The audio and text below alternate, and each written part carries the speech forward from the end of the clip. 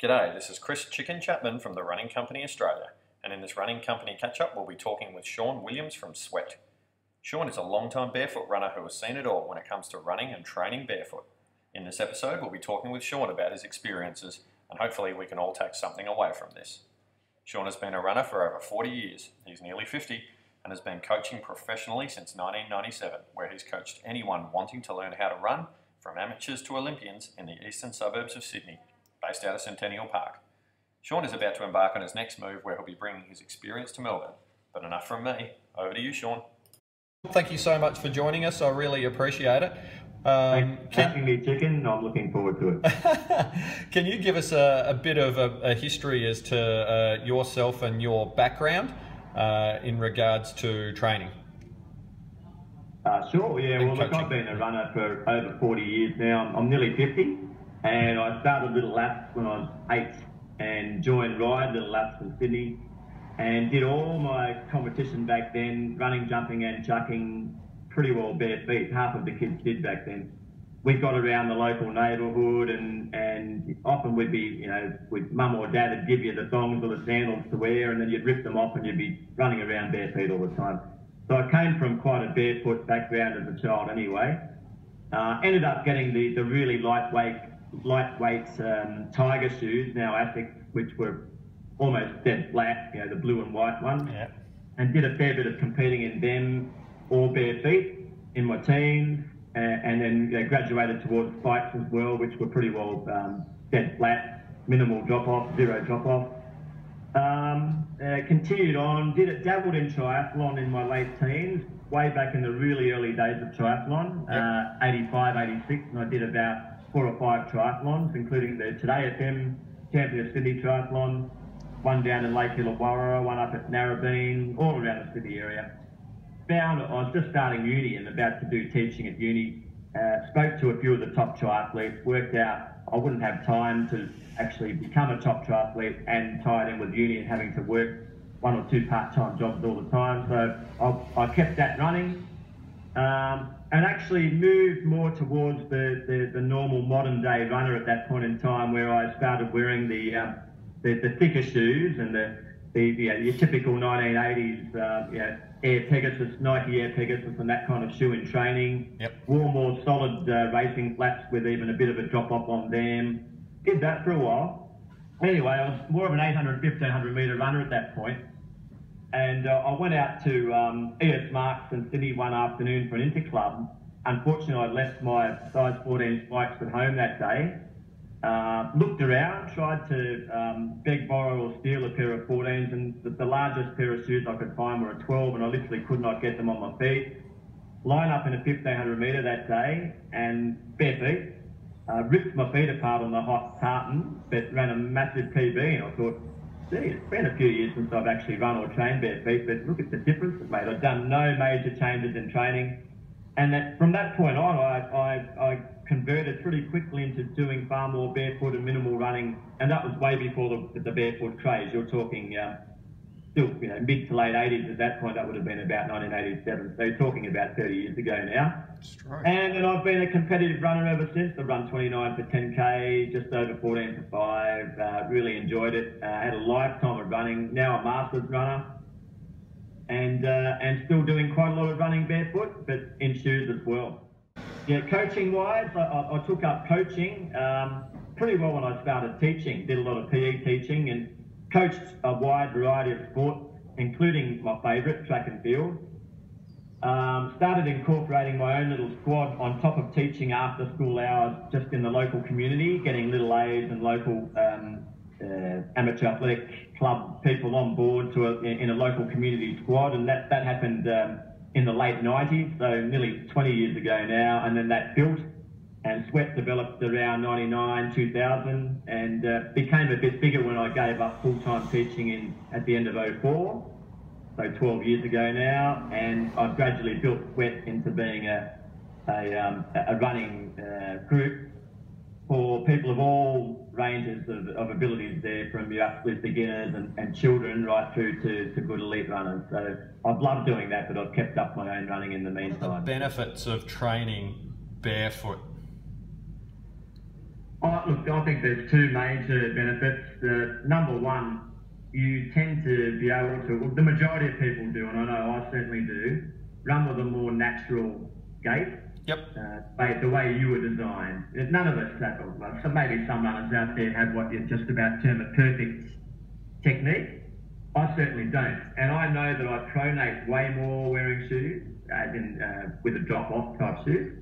And not only do I pronate, but I flick my uh, left foot out far more when I'm wearing shoes as well. If you look at uh, any footage of me running in shoes versus running bare feet, and there's a massive change in technique. I look, I'd give myself an eight or nine out of ten technique wise. Uh, bare feet versus maybe a five, even a four out of ten. I look shocking um, running in shoes. Yeah. Uh, that's my only job where I do slower pace running in shoes, and I still uh, much prefer barefoot or at least wearing minimal shoes like a, a New Balance Minimus uh, when I want to run quickly, if I want to run properly. And I call that real running. Mm. Uh, for me and for so many people I coach, the same thing has happened. The evidence is there that they're far more likely to mid-foot or forefoot strike, um, or somewhere between mid and forefoot striking, when they're barefoot or wearing minimal shoes compared to if they're wearing the higher heeled shoes. Yep. There's no doubt that the higher heeled shoes promote that heel strike. Um, the other major issue, apart from the technique, the, the other uh, major advantage of running bare feet, I feel, is that um, you don't have that 300 or 400 or 500 grams on each foot. It mightn't seem like much weight, but um, when you're when you're running and you're taking thousands, even tens of thousands of steps, depending on how far you're running, it all adds up. Yep. And so I find the hip flexors, the hamstrings, and, and a whole bunch of other parts of the body there are doing far less work when you're running bare feet. You end up recovering way quicker. Um, as long as the surface you're running on is not too hard, there's the, the converse uh, um, approach there where you're looking at the impact, and the impact can actually go up through the feet, and you can end up with sore quads and, and hips and that sort of thing if you're running on a really hard surface like a tartan track or even worse, a, a Rekortan track, or if you're, you know, if you're crazy enough to run on the, on the bitumen or the concrete on the road or the sidewalk or whatever. But if you're talking about running on um, on dirt, uh, an oval, that sort of thing, and where you've got a bit of cushioning involved there, I'll guarantee you that 99% of runners will pull up better running bare feet as well. Uh, not only from the impacts, uh, but also from the fact that they're not literally doing weight training. By, by wearing heavy shoes, you're, you're doing a form of weight training. Low low resistance, but uh, you know, you're talking about mega reps. You're talking about a, a weight, like running is a series of jumps. A jump off the left foot, and a jump off the right foot. You're talking about multiple reps you know, thousands, if not tens of thousands of reps from the left foot and the right foot. You add up all that weight on top of what your, your body's already carrying bare feet, all that weight you're carrying bare, um, wearing shoes, when you add it all up, and you don't have to be a rocket scientist or a mathematician to work out you're, you're, you're loading your body far more by wearing weighted shoes on your feet. But I, I don't believe that um, but yeah, we can get away with doing all our running bare feet. I, have tried it, and I've come a crocker. Either gotten stress fractures or, uh, or you know, ended up with pretty bad plantar fasciitis, which ended up completely tearing the plantar fascia when I was running bare feet on a beach up at Old Bar near Taree in yeah. uh, the mid north coast of New South Wales. And there, look, it had nothing to do with running on pure sand. There were pebbles there, and I kept trying to hack it out, yeah. uh, running on uh, on the the pebbles which were around between golf ball and, and tennis ball size, and more of an impact thing. But uh, that's one of the issues with running bare feet. You've got the environment there, and it's all very well if you're running on a bowling green type oval or even smooth dirt or you know, lovely smooth trail. But once you start talking about rock, stones, roots, or even worse, bitumen, it might feel smooth enough on your feet, but yeah, bitumen uh, is not a, a, a God-made thing. It's a man-made surface there, bitumen, concrete, tar, uh, any, anything hard, um, I don't think you, you, should be running bare feet on any of that. Yeah. No. Get, get a bit of cushioning there. Yeah. What's the craziest thing barefoot you've ever done? Good, yeah. Look, I, I uh, started becoming quite fanatical about barefoot running uh, around the time I was running at my best, and I'd, I'd run like 29, 31 to 10k on the track, 1409, Um, tried to revert back to shoes and, and comparing running in shoes, running in spikes on the track, for example, to racing in bare feet. And there'd be half a minute difference. I'd be lucky to, to run, you know, 14.45 wearing spikes, and every time I, I took the spikes off, you, I, I'd, I'd run way quicker again. And the same thing over 10k, I couldn't break 30 wearing shoes. Wow. Uh, so I got to the point where virtually any speed work I did and any uh, track racing I did, I had to do it bare feet. I was like that fanatical about it. Even when living in Canada, and uh, we we're living in Vancouver, which is a warmer part of Canada, but compared to most other parts of the world, um, still very cold. And we're actually there where the locals told me that it was the coldest winter that Vancouver had experienced in 30 years.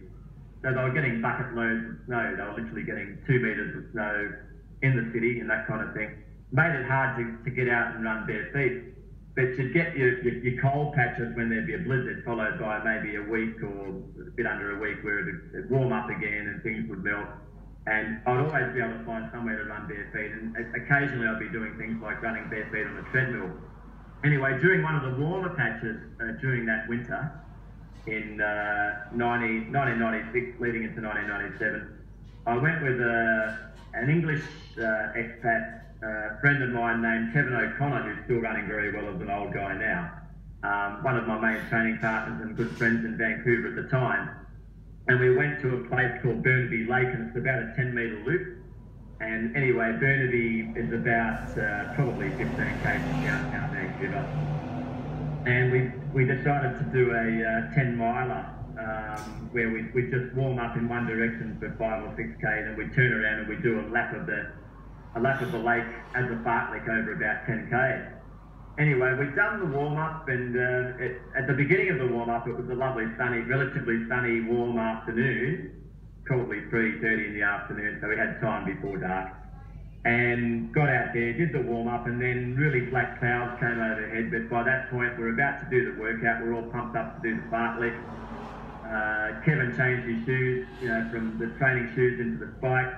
Uh, I ripped my training shoes off, and I was bare feet, ready to go on the uh, lovely wood chip trail, lovely soft wood chip trail, ready to go bare feet. Didn't think that it was bucket down snow, and off we went.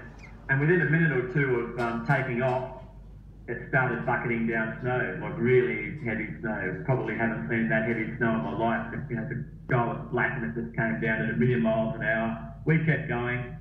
About halfway around, 5k from anywhere, the middle of that loop is sort of like in the middle of nowhere, and um, my feet were going numb, and I noticed they were going kind of purple, and uh, and uh, and a lot of pain there too. And I just said to Kevin, I can't run anymore. This is not a good idea. He looked at my feet and said, "You're in trouble." They were red raw underneath, and, the, and not only that, but they were kind of going dark as well. And we thought, gee, this is not looking great. Looks, looks like it might be frostbite. And he said, you try and battle on, Sean, and I'll uh, I'll go and get an ambulance. So that's what happened. And uh, and uh, as it was in the end, I battled on and, and uh, kind of walked back. And by the time I got back there, we beat any ambulance. By the time there was, we didn't have mobile phones back then. And uh, I, I, was driven by Kevin to the hospital and spent quite a lot of time in Vancouver Hospital, and uh, they were talking about chopping off toes, chopping off feet, that sort of thing. There was a bit of skin grafting that happened in the end, and luckily they saved my feet and saved everything, and I've got every little limb still on my body. Uh, so there's no war stories with you know short of a big toe or short of a foot or anything like that. Luckily. That's awesome. So, Sean, um, thank you so much for your time. Um, can you just let us know the website and when you're uh, when you're going to be up and running down in Melbourne? It'll be the same website, okay. I'm keeping that the same. Cool. Um, but uh, all our apparel will have sweat on it. We'll, we'll, we'll wipe the Sydney off the apparel. Um, yeah. It'll purely be sweat. Same logo, but uh, same website, uh, same email address. That's great. And again, uh, one of the good things that I loved when I was training with you is the fact that it's um, you have some very, very handy and good runners out there, but it's um, for all age groups as well, isn't it? It's not really designed for elite athletes. It's people that are just starting to learn how to run, and kids as well, all the way through to someone who wants to almost be an Olympian. So absolutely chicken. Mm. Yeah. Yeah, and that's great. Um, well, thank you so much for your time. I, I really appreciate it.